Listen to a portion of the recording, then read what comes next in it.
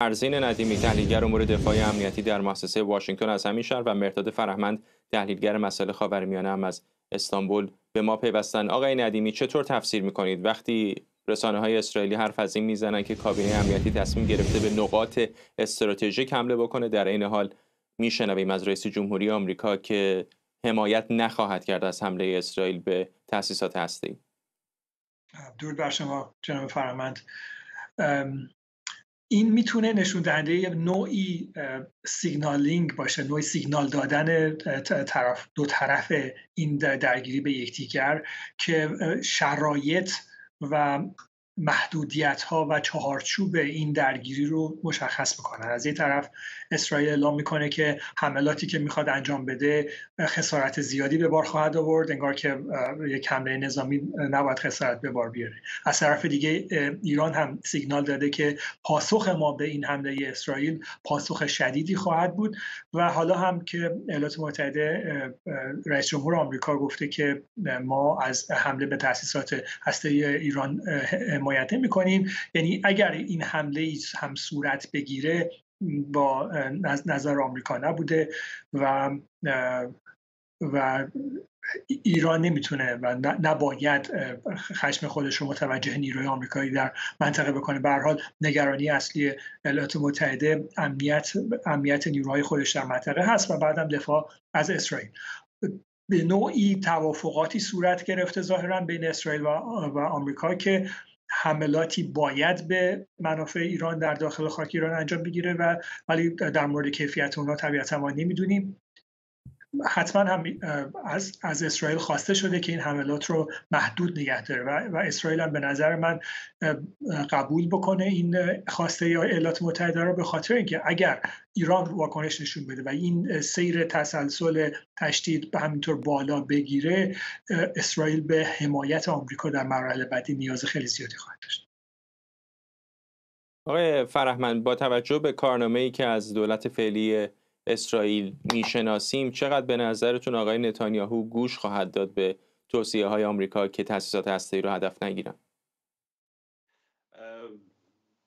به نظر من بیشتر از هر چیزی اتفاقا احتمال این میرفتش که اسرائیل به تاسیسات هسته‌ای حمله بکنه. ولی حالا که آقای بایدن این گونه گفته که مقداری دیگه تردید ایجاد میشه. به نظرم نمیشه گفتش که آقای نتانیاهو کاملا بی نسبت به آقای بایدن عمل خواهد کرد. بنابراین این احتمال که تاسیسات هسته ای از لیست خارج بشه هست ولی این به این معنا نیستش که هدف های کم اهمیت تری رو اسرائیل در نظر خواهد گرفت. من گمان می‌کنم که اولا هدف های این بار اسرائیل غیر نظامی باشند و دیگر اینکه نسبت به دفعه قبل خسارات بیشتری رو به ایران بزنند و حمله بزرگتری نسبت به دفعه قبل باشه. اما اینکه حجمش چقدر خواهد بود و چه تأثیراتی خواهد بود برای پاسخ دادن به این سوال اول باید به دو سوال دیگر پاسخ داد یکی اینکه آیا آقای نتانیاهو می‌خواد به دنبال جنگ بزرگتری بره یا نه؟ یعنی آیا می‌خواد که این حمله بعد حمله جواب ایران داشته باشه و بعد باز حمله دیگر و یک چرخه ای از این حملات که در واقع اون تناوب اینها عملا جنگ خواهد بود ولو از راه دور و به شکل هوایی. آیا آقای نتانیاهو می‌خواد به این راه رو بره؟ یا نه ترجیح میده که در مقطع فعلی در حد زد و خوردی فعلا متوقف بشه. در صورتی که هر کدوم از این دوتا باشه حجم و شدت حمله اسرائیل متفاوت خواهد بود. عنصر دیگری سوال دیگری که باید پاسخ داده بشه اینه که آیا افکار عمومی ایرانیان در نظر داشته اینکه بخشی از ایرانیان به هر حال برای آقای نتانیاهو هورا کشیدند و از اینکه آقای نتانیاهو مثلا به لبنان حمله کرده حسن نصرالله رو کشته حتی از اینکه نفراتی از سپاه پاسداران رو می‌کشه یا حتی در برخی حتی از حملهش به ایران هم استقبال می‌کنند یک وضعیت عجیب و شاید تحقیرآمیز همین باشه اما به هر حال وجود داره و چشمگیر هم هست. آیا این برای آقای نتانیاهو مهم هست یا نه؟ آقا آیا اهمیت براش داره که این بخش از ایرانیان هم همراهش را همچنان افکارشون رو همراه خودش داشته باشه؟ در این صورت اون ضربه ای که خواهد زد چون به هر حال اگر تاسیسات غیر نظامی هدف قرار بگیره زندگی مردم رو تحت تاثیر خواهد گذاشت. این عنصر رو هم باید در نظر بگیره که اگر مثلا بزنه به تاسیسات گازی و خسارات جدی به تاسیسات گازی ایران بزنه و فردا مردم در این آغاز زمستان بدون گاز بمونند. آیا این اثر سوی روی وجهش در ایران نخواهد گذاشت؟ این عنصر هم باید دید که چقدر برای آقای نتانیاهو مهمه. اگر اهمیت نداشته باشه چه بسا که آقای نتانیاهو به تاسیسات انرژی ایران مثل تاسیسات گاز هم نیروگاه های برق حمله بکنه و اساسا مردم ایران به شکل مستقیم تحت تاثیر قرار بگیرند. اما اگر نخواد که مردم ایران مستقیم تحت تاثیر قرار بگیرند اتفاقا بهترین هدف تجهیزات هسته‌ایه.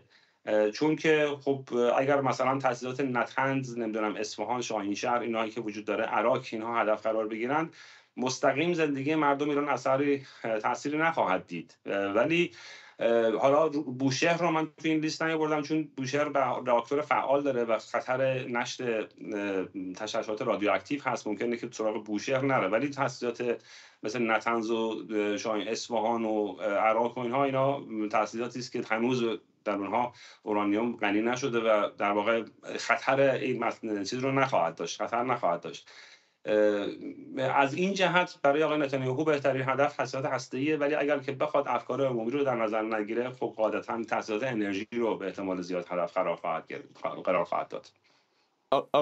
آقای ندیمی از نظر لوجستیکی و فنی چه چالش های اسرائیلی ها داره؟ ما دیدیم که در بیروت در کشتن حسن نصرالله از بمب های سنگر شکن استفاده کردن. آیا همین بمب ها می‌تونه در تاسیسات هسته ایران هم جواب بده و دو اگر جنگنده های اسرائیلی بخوان به حریم هوای ایران نفوذ بکنند چقدر به حمایت نیروهای آمریکایی در مسیر احتیاج دارن؟ بله اسرائیل می‌تونه از های سنگرشکنه که داره استفاده بکنه برای ضربه زدن به تاسیسات مستحکم ایران حالا چه تاسیسات هسته‌ای باشن چه پایگاه موشکی ولی همونطور که در حمله به مقر حزب الله دیدیم باید از تعداد زیادی بمب علیه یک هدف استفاده بشه و این و این یعنی تعداد قابل توجه هواپیما که بتونن بمبای خودشون رو دنبال هم بفرستن در یک محیطی که به اصطلاح کانتستد هست آسمان اونجا و پدافند هوایی به صورت فعال داره مقابله می‌کنه. من فکر می‌کنم بسیار سخت هستش که اسرائیل بتونه چنین کاری انجام بده مگر اینکه در ابتدا پدافند هوایی ایران رو از کار بندازه و من فکر می‌کنم یکی از اهداف اصلی و اولیه اسرائیل در ابتدای هر گونه عملیات نظامی در خاک ایران ضربه زدن به پدافند هوایی ایران هست نابود کردن موشک, موشک های پدافندی و رادارهای دوربرد ایران که تا یه حد قابل توجهی تضعیف بکنه پدافند هوایی تا بتونه هواپیماهای جنگنده خودش رو از اون کریدورهای امنی که به وجود میاره با کمک امکانات جنگ الکترونیکی وارد بکنه و با اطمینان خاطر بیشتری به هدفهای مورد نظر بپردازه. من با آقای فرمان موافق هستم که اگر اسرائیل ریسک حمله به عمق خاک ایران رو می‌خواد به خودش بده این کار رو ترجیح میده که برای نابود کردن هدفهای خیلی مهمتری مثل تاسیسات هسته‌ای یا اهداف مربوط به رهبری یا فرماندهی و کنترل سپاه انجام بده تا اینکه بیاد به یک نیروگاه برق یک پالشگاه حمله بکنه که بازسازی اون کار چندان مشکلی نیستش. ولی نابود کردن امکانات ستاد فرماندهی فرماندهی کنترل همینطور پناهگاه های مربوط به شبکه پدافند هوایی خب طبیعتا می‌تونه موقعیت رو و شرایط رو برای حملات بعدی آماده بکنه. در مراحل اولیه اسرائیل نیاز چندانی به ایالات متحده نخواهد داشت ولی اگر این درگیری تشدید پیدا بکنه ایران واکنش نشون بده اسرائیل مجدد مجبور بشه حمله بکنه یا اینکه خلبانهایی در خاک ایران سرنگون بشن که باید نجات داده بشن طبیعتا اینجا از پشتیبانی آمریکا حتما نیاز خواهد داشت. اسرائیل ممنونم از هر دو شما آقایون. فرزین ندیمی تحلیلگر امور دفاعی و امنیتی در مؤسسه واشنگتن و مرتاد فرهمند تحلیلگر مسائل خاورمیانه از استانبول.